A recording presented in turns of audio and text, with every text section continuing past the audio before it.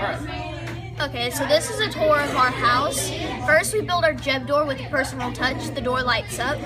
So when you come in, you have your fridge here, which has a random chance of either giving you carrots or melons. And then you have your shower here, which I'm added in, like, if when you walk in, there's snowballs and eggs. And when you take a shower, if say it's nighttime, when you turn it on, it light, there's like lights that Very nice. And I couldn't figure out how to get buttons on the ceiling, so you'll have to flick it a couple of times before it turns off, but that's our house. And actually right now, Well, can you show me the redstone to your shower real quick?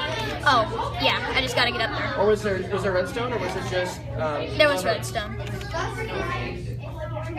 What I did is you saw the redstone lamps I placed down here, and then right below this block is where I have the lever, which when it activates, it will activate this piece of redstone. So that way you get the lights. And Yeah, it shower. activates the lights and shower at the same time. Okay. All right. Keep going. What's next?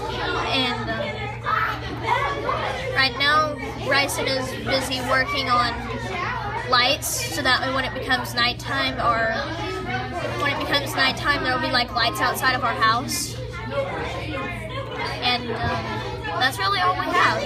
All right. Awesome. That's great. I love the shower.